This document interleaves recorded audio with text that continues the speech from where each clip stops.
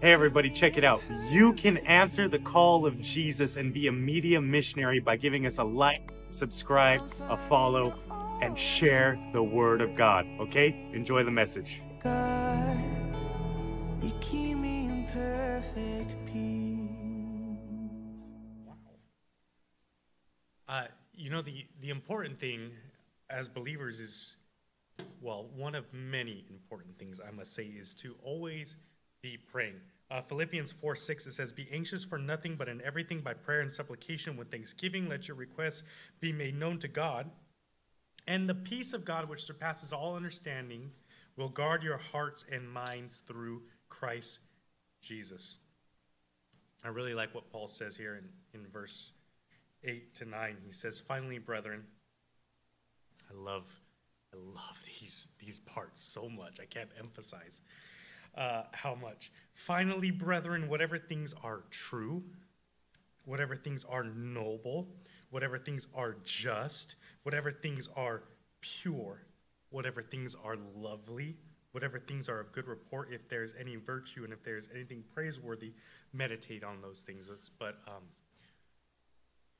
prayer is is one of our most important important tools in the arsenal that the Lord has given us. We can, like Pastor Aileen said, go boldly before the throne of God's grace with any of our requests, uh, be covered in His peace, uh, but also He hears us, and uh, He has favor over us, and He has favor over Israel, and we are for Israel. We are a people who are for Israel. Um, that all being said, I just I just like that Pastor Aileen took us into a time of prayer. Can I pray one more time? Is that okay? uh, Holy Spirit, uh, uh, it was really beautiful to see your glory come over the room, like your presence, Lord. That's something that we need every day is a touch from you. And as we divide your word today, Lord, uh, we pray that you would just teach us something that we can hold on to for life, Lord, for eternity, Lord. Something that, uh, like Rochelle said, we can go out from here and share with another another believer, Lord, or a non-believer. Um, that's an important aspect of our relationship with you, of our service to you, Lord. So we love you, we praise you. Uh, Holy Spirit, you be the teacher, and in your name we pray. Amen online church, if you didn't know, if you did not know, every fourth Wednesday of the month is meet, greet, and eat. Meet, greet, and eat. I think I'm finally saying it correctly, okay, in the right order. Uh, that means come out, visit us here in person in Huntington Beach on the fourth Wednesday of the night and get a free meal, free dinner, and a free a free meal, spiritual meal of the Word of God, okay? Come fellowship with us. We want to meet you. We want to see you if we haven't seen you in a while. So please come out. no.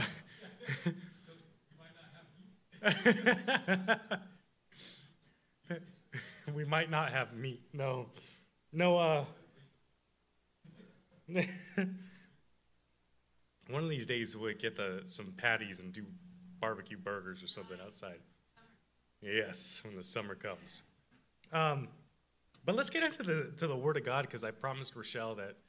Well, I told Rochelle that I was going to try and get us out of here by eight o'clock, and that is clearly not going to happen.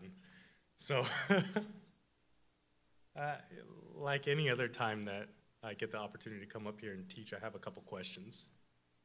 Uh, I, I, like to personally uh, prod my own heart with questions because it puts me in a mindset of, well, how is the Lord going to answer this particular problem?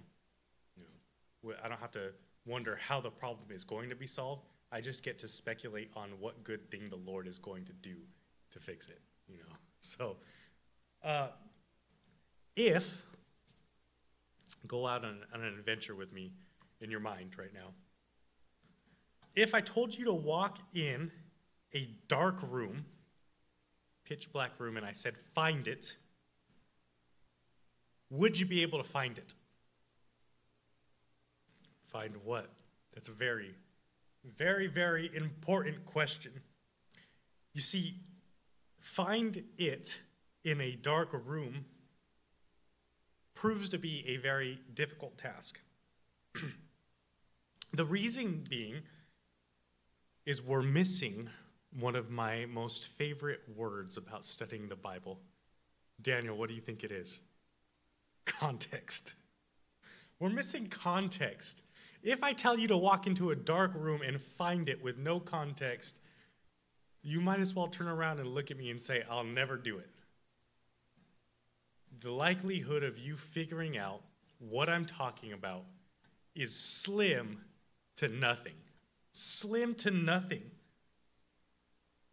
I left out vital information that would help you get to the right place and find what exactly you're looking for. Are you looking for a tool? Are you looking for a switch? Are you looking for an item? Maybe something of great value? It kind of begs a similar question. You know, we're believers, we have knowledge, we have the Holy Spirit. But what if I went out into the world and told the world, go and find heaven? How would the world find heaven? I think that there'd be a whole lot of speculation on how it could be done. There's not a single doubt in my mind that if you ask people, how do you get to heaven? Some of them say, well, be a good person. Brandon and I were learning earlier about certain groups of people that don't believe there even is a heaven at all. So, how can someone who is in the world, who does not have a relationship with God, grasp the clear, true concept of getting to heaven? It's like sending someone into a dark room and saying, Find it. You see, the problem with the world is they are all looking for something for purpose, for satisfaction, in a dark world with no instructions on how to find what they're looking for or what they might even be looking for. You see, without God, Solomon would say that life is vain or meaningless. People outside, they are absolutely looking for purpose. That's why some people protest. That's why some people become great business leaders, work hard. They're looking for satisfaction for their souls. I'm always fascinated with those kind of. Uh, I don't want to say this and be offensive, but I don't. know, I guess there's no really offensive way to say this. Those those gentlemen that have just lived full lives and they've seen the whole world and and uh, they live kind of carefree. I've met one or two of them in my lives, in my life, in my life. They're looking for satisfaction.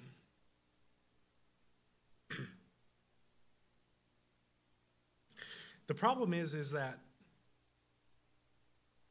the things of the world will not give you a good purpose and the things of the world can never satisfy the soul. We, we as believers, know that what their hearts are truly looking for is Jesus. He is the only one that can satisfy the soul.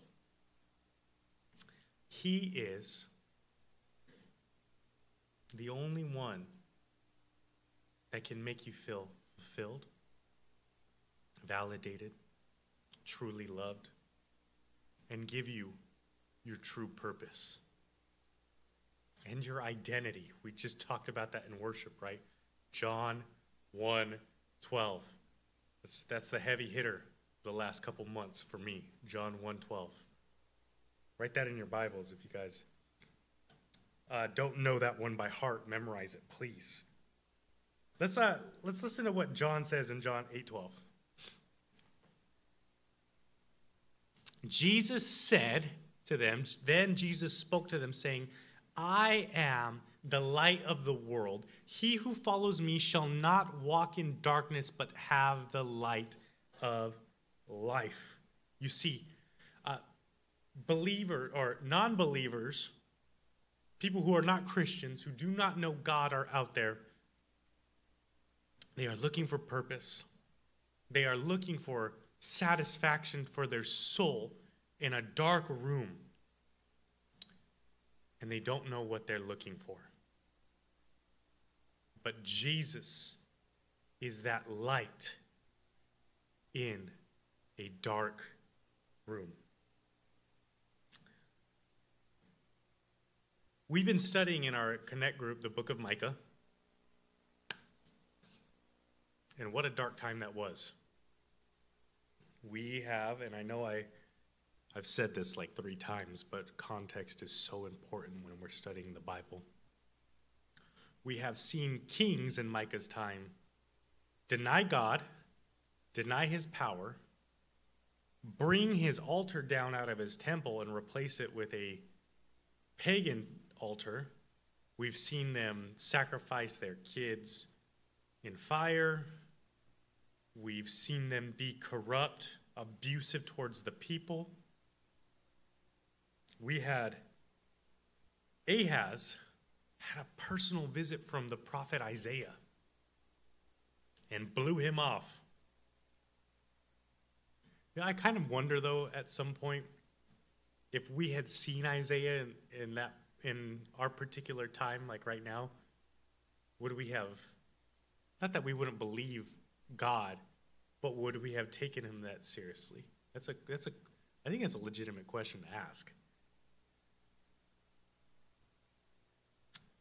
The whole Israelite world in Jerusalem, in Judah, and in Israel is filled to the brim with chaos. Absolute chaos. They are walking in moral darkness.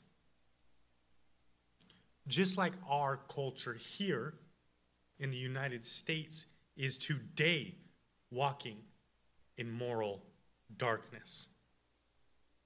We are murdering children. Not us personally, but our people are. We are condoning terrorism. I don't like to be political, but I will call it what it is. That's what's happening.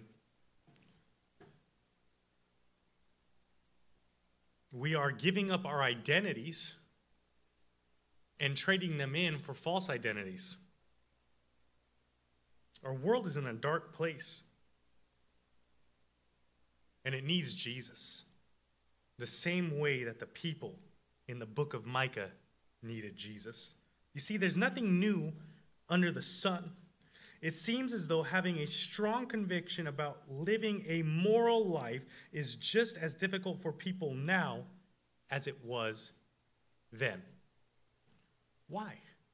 Why do we, as a people, struggle so hard with wanting to be holy, with wanting to be pleasing to God, with wanting to be connected to God. Why do we struggle from that? With that, uh, I like that uh, old hymn, Come Thou Fount. Have any of us ever heard that old hymn? Come, thou fount of every blessing, tune thy heart to sing thy praise. There's a really uh, beautiful section of lyrics in there that I love, and he says, Take my heart, Lord, come and seal it, bind my wandering heart to thee. even that man, I wish I, I need to go find his name. I, I need to do some research on this hymn. He knew, knew my heart wanders, and I need God to be the one that bonds my heart to Him. Let your grace down like a fetter. A fetter, uh, by the way, is a it's a it's a binding tool. It's a it's a binder. Uh, bind my wandering heart to Thee. Well, how do you see in the dark? How do night vision goggles, a light, flashlight? You don't. You don't even try sometimes. But how do we as believers how do we see in a morally dark world? How do how do we do that? How do we The flashlight, yeah. Uh, for those of you who are watching online, Matt picked up his Bible and used it like a flashlight. Perfect. Uh, I've heard the acronym over all the years of being a Christian for the word Bible. yes, Rochelle, you're so awesome. The Bible stands for Basic Instructions Before Leaving Earth. Basic instructions before leaving Earth. Don't give me any credit. I didn't come up with that. I've been hearing that for years. I don't know who did, but I was like, man, that's so, that's awesome. You know what's really cool about it too is the first time I heard about it, I was at the castle and Teen Challenge, and you know that that whole vibe there is like, yeah, I'm in like Christian boot camp. Like, you really take on that like I'm I'm the army of God type mentality, and so you're like, I'm looking for my basic instructions, you know. Well, if we want to see, if we want to see in this dark, corrupt, morally corrupt world, we need to have basic instructions before we leave the earth. And we can, what's that? And you need to read them because it's no good having a book laying on the back seat of your car for a year that you never read. This is a personal testimony. read a year later and you're like, why didn't I read this way sooner?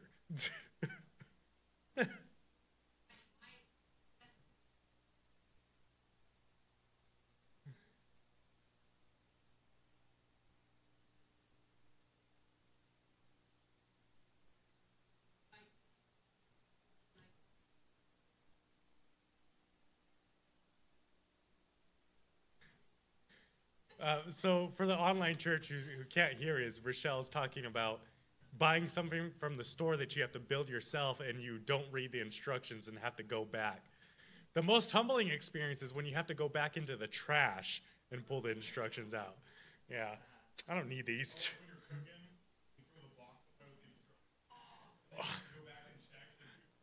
yeah.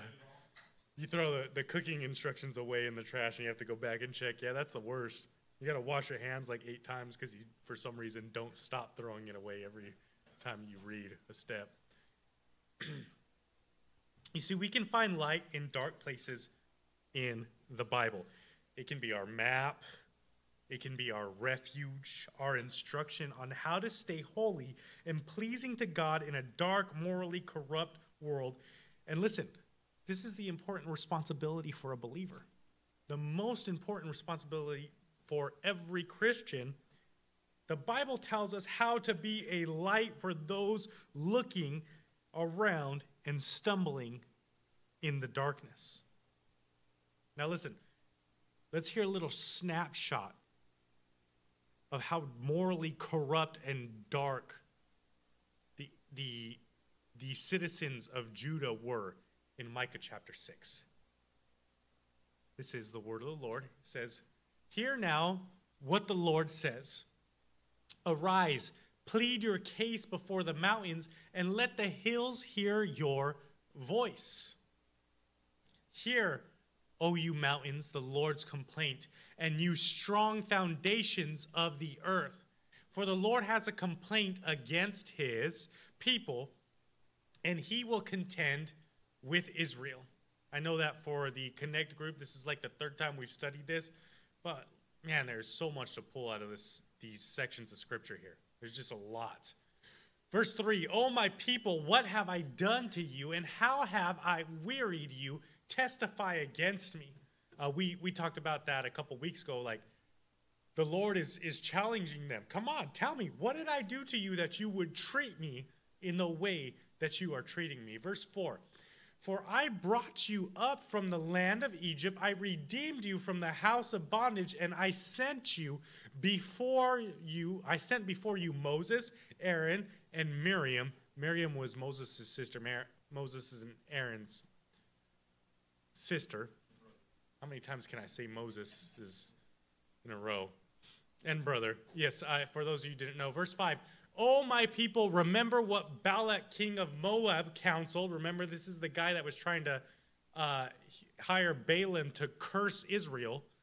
And what Balaam, the son of Beor, answered him from Acacia Grove to Gilgal, Gilgal, that you may know the righteousness of the Lord.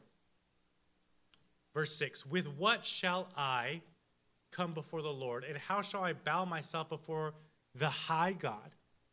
Listen, shall I come before him with burnt offerings? Shall I come before him with sacrifices? Shall I come before him with uh, beautiful worship songs? With calves a year old? Shall I come with him before him with massive amounts of money for a tithe? Will the Lord be pleased with 10,000 rams, 10,000 rivers of oil? Shall I give my firstborn? We saw one king do that.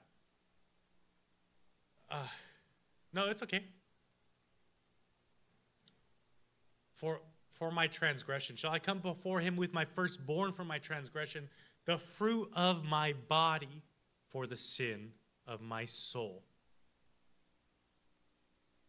He has shown you, O man, what is good.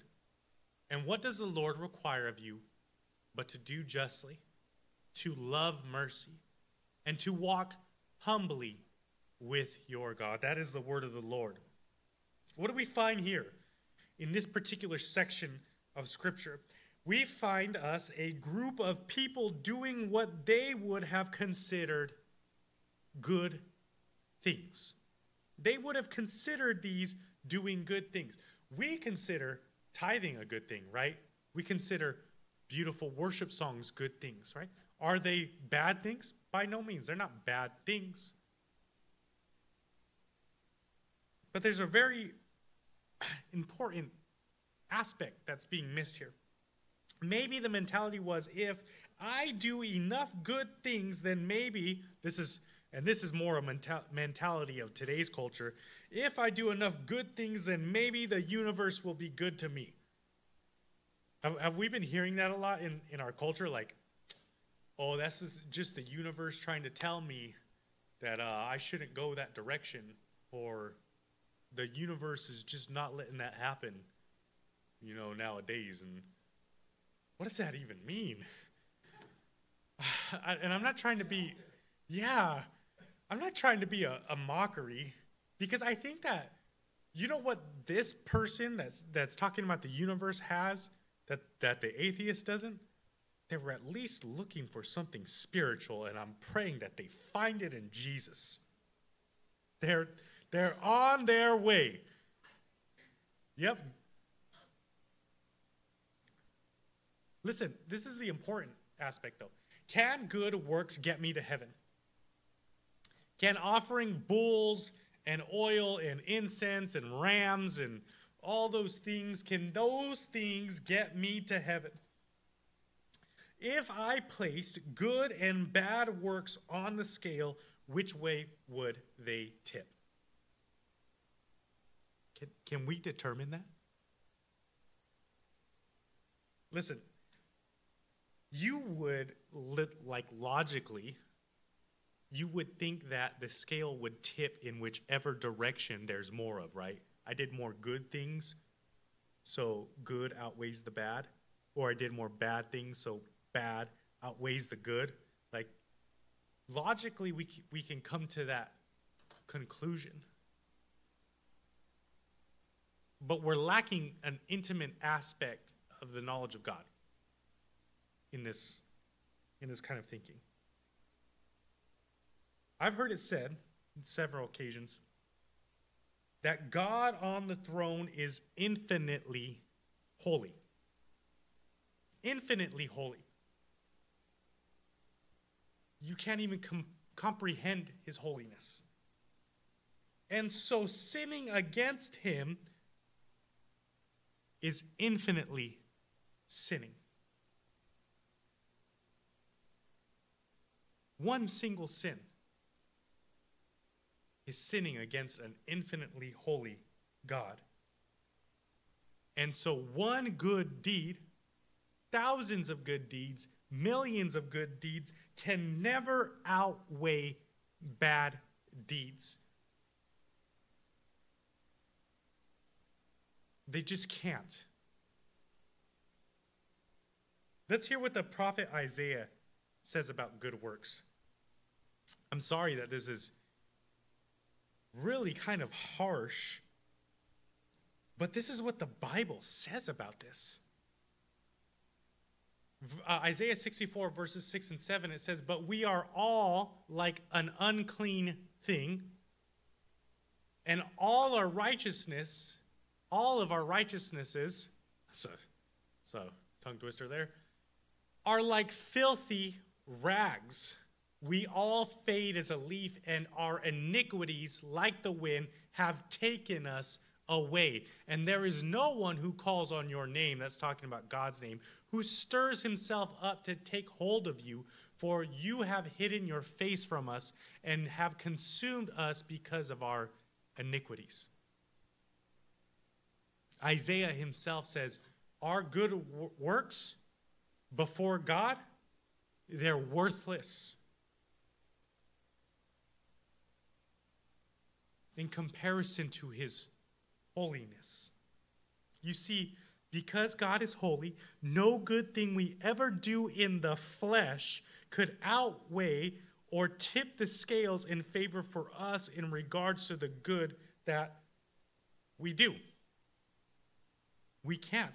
And some might even say, I am a good person and I'm always wanting to do the right things. I have good intentions.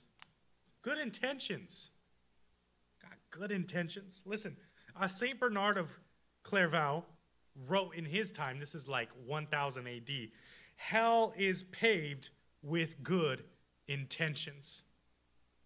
It's like one of my, when I was a kid, I thought that quote was so cool.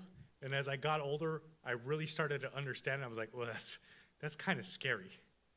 Hell is paved with good intentions. You see, we even as believers, see things through a mirror dimly, as Paul wrote in 1 Corinthians 13 12. And so, our best efforts to make things right, to do good, will always fall short. Fatted calves, sacrifices in the Old Testament, and good works, tithes, servings, and kindness, though they may be motivated by good intentions, can never meet the standard God has set before us. And even at that, we don't have the moral compass on our own to rightly divide what are good and what are bad works. Is this a heavy is this a heavy scripture section of scripture? It's kind of hard. It's a really I mean it's one of those things that is like, it's so easy to understand, but so hard to do. Because the basis of our faith is that it's not about any good thing that we could have ever done in our life. It's that God loved us so much, He shed His blood for us, and that is what gets us access to God. That is what gives us eternal life. But from the time that we're born to the time to this day, however old you are, the way that we are raised is that if we do good things, we will be rewarded for it. And that learning over 10, 20, 30, 40, 50, 60 years conflicts with the idea of God's grace. So I think that I know me personally as a believer, I have struggled with feeling like if I am not doing something good, then I then I have a problem, an issue with God. And that is not reality. Because my good works, they're irrelevant. And if I have any good works, they're just a fruit of my relationship with God. They're really His good works. They're His good works. Like uh, Ephesians 2 says, that He prepared in advance for us good works because we are His craftsmanship, His, his handiwork. That's a beautiful section of Scripture right there. Well, then, how do we know how to do good works? How do we turn away from the evil that is found so naturally in our hearts? Basic instructions before leaving earth. Listen to what Jesus says here in John 15 5. He says, I am the vine, you are the branches. He who abides in me and I in him bears much fruit. Wherefore, without me, you can do nothing. That's it. It's that simple. It's Jesus. It's Jesus. You see here in Micah, we have the masses attempting to do things God has asked sacrifices, observing feasts, um, temple worship, gathering, uh, observing the Sabbath. All these things they're probably doing, and they're attempting to do what God has asked them to do. Whether they have good intentions or selfish ambitions, they're doing these things, but they're still being rebuked by God Himself. And why? The heart issue, the lack of connection to God. Listen, on the other hand, basic instructions before leaving earth, God is going to give them very clear instructions on the way He desires them to live in Micah 6 8. He says, What do I require of you? But to do justly, to love mercy, to love mercy, and to walk humbly with your God. Let me kind of just.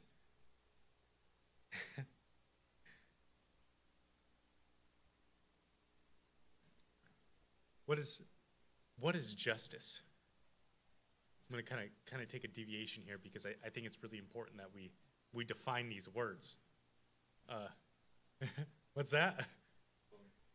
Oh, it's okay. Revenge. Okay. Revenge is an excellent example of justice. But vengeance is for the Lord and not for us. Yes. Unfortunately, that isn't. Well, let's, let's just talk about what is justice. We're trying to do the right thing. We're trying to have our hearts in positions where we're loving to see righteousness, right? We're loving. Who likes a good judge? Who likes a corrupt judge? No, anybody in this room like a corrupt judge? We love justice. To love mercy. And this isn't talking about, I love when mercy's given to me. Okay? To love mercy in the way that I am so quick to be merciful with everyone around me.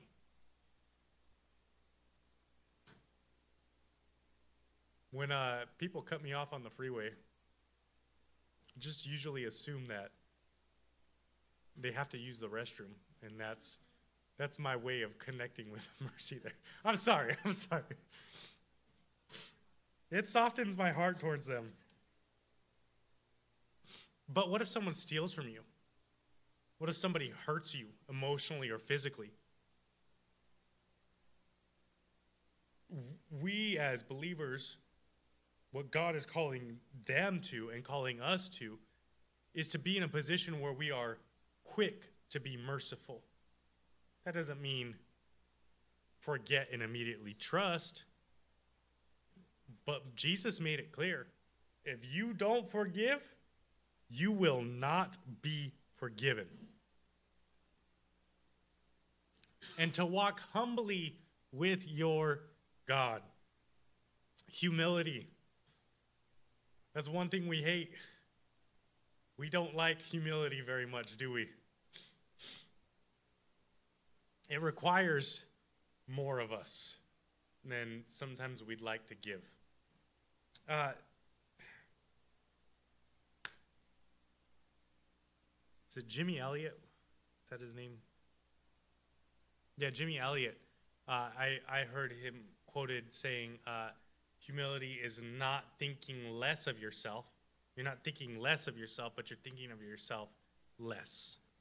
So we're not talking about the kind of false humility. Oh, I, I'm nothing. I'm I'm weak, and well, we're all weak, but you guys get what I'm saying. We're we're talking about.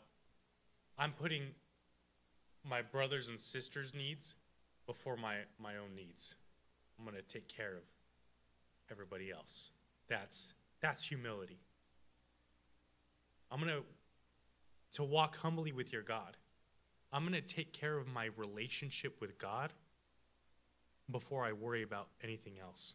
You know, um, my my my former boss Tim Sook he once taught this really beautiful message about being successful in in in ministry and he brought it back to this point uh, your first ministry is your relationship with God. Your only ministry is your relationship with God. Every other ministry is His ministry. So be faithful to yours, and He'll take care of the rest. Walk humbly with Him. There's one thing going on here. In order for them to know what justice, mercy, and humility are, though, they need to have a crucial functioning function happening in their hearts. And that takes us back to John 15 5, where Jesus says, uh, can, we, can we backtrack that one real quick? Because I kind of veered off to the left a little bit. I am the vine, you are the branches. He who abides in me and I in him bears much fruit, for without me you can do nothing. See, here in Micah 6, what we're seeing is that the Israelites, the you say Judites? Is that how you would say that? Judaites? The Hebrews.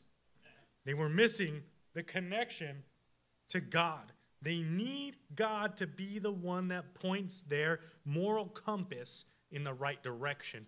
We need God to be the one that points our moral compasses in the right direction. Otherwise, we'll be going left, right, sideways, backwards, down, up, moving in directions that we can't even comprehend. We need God to be the one that points our moral compass in the right direction to help us find what we are looking for in dark times. We need to be the light that points people of the world to Jesus to find what they're looking for in a morally corrupt, dark world. To find salvation from their sins. Listen, this is a important thing. Uh, you see, apart from God, we can do no good. And that is a little bit of a tough pill to swallow. It's like trying to swallow those thousand milligram uh, vitamin C from Costco. This thing's terrible. But it's the truth. No good can come from having good intentions. All things come from God. All things that are good come from God, just like James 1:17 says, "Every good gift and every perfect gift is from above and comes down from the Father of lights, with whom there is no variation or shadow of turning." So, if we are going to or if we are looking to live holy pleasing lives before the Lord, here are the things that we need. Okay? and also lives that point towards Jesus. Because we got to be the light, the salt and the light in a dark world, okay? First and foremost, we need connection to God. That's the most important part. How do I get connected with God? You got to pray, read, and obey like, like Ron Strong would say. Uh, my friend Greg Hunt, he would he would say this. He would say, if you read the Bible and you don't pray, then you'll become a legalist. And if you pray but you don't read your Bible, you'll become a mystic. So you need the both to be really connected with God. Okay. First and most important part of living holy, pleasing lives before the Lord connection to God. Pray, read, okay, and obey. That's, that's the hard one. Obey. You know, you hear that, that, that prompting from the Holy Spirit that says, don't go there. And then you kind of like, well, what's the worst that could happen? I'll post this meme and if I can find it in the Discord later of uh, it's a meme of like a hyena walking away all limping and its hair's all over the place and it says me when I try to operate outside the Holy Spirit. I'll post it in the Discord later. Um, second, second thing. Uh, secondly, a right moral compass. That's the second thing that we need, and that can only come from God. And that comes from connection with God. Walk humbly, do justly, love mercy, love God, and love others. That's your right moral compass right there, right? Uh, you see, the Israelites, when they entered the promised land, they were given a right moral compass. It, it consisted of 10 commandments and about 618 laws, right? We get the easy part because Jesus summed it all up for us in these two things love the Lord your God with all your heart, soul, mind, and strength, and love your neighbor as yourself. Listen to this, this thing though, because even as I, I still think about this, there's a reason that it says love God, then love your neighbor. Because God needs to be your first ministry. There's nothing more important than that. You know, relationships in the world are really important. Pastor Paul sat me down one day and he says, Daniel, uh, relationships are like cake. He says, if relationships were like cake, Jesus would be the bread and people would be the icing. You can't have the cake without the bread. You can have the cake without the icing, but the icing complements the bread. Okay, and then lastly, uh, the last part that we need to live a holy, pleasing life before the Lord uh, to know God's instructions for us by reading and dividing His Word. We can never live a perfect or pleasing life on our own. You see, the good thing for us is that Jesus did step in for us. Right? That's that's the good thing. As as sinful as we are, knowing that every sin is just an automatic like death sentence jesus laid his life down for us. Because just as man sinned man had to pay the price. So he died in our place. But listen we can bear the fruit of a new creation of a disciple love joy faithfulness, goodness, love, joy, peace, faithfulness. Love, joy, peace, patience, faithfulness, goodness, gentleness, kindness, and self control. Good works that come out as fruit. Really, God's good works. And we do these things by connection to Jesus through the study of the Word and through prayer so that we can live a holy, pleasing life before God. Let's uh, read one last scripture and then we'll pray. Uh, Romans 12:1 says, "I beseech you, therefore, brethren, by the mercies of God, that you present your bodies a living sacrifice, holy, acceptable to God, which is your reasonable service." Heavenly Father, we come before you, Lord, and we thank you for the opportunity to divide these scriptures, Lord, uh, to study them. And Lord, justice, mercy, and humility are things that we can all continually grow in as each day passes, Lord. We want to be connected with you, Lord. We want to do the good work that you prepared in advance for us, Lord. We want to be light in a dark world. We want to be able to point to you in this dark world, Lord. We pray that our, our people would repent of the terrible things that they are doing, Lord, as we continually repent for every time our hearts stray away from you, Lord. You've been so good and kind to us, Jesus. Teach us, correct us, Lord, guide us, bring us into your fold, Lord. Keep us connected to the vine, Lord. Help us to love you because you first love us, Lord. And let that love pour out on everybody else around us. We love you and praise you, Jesus. And in your name we pray. Amen. Good night, guys.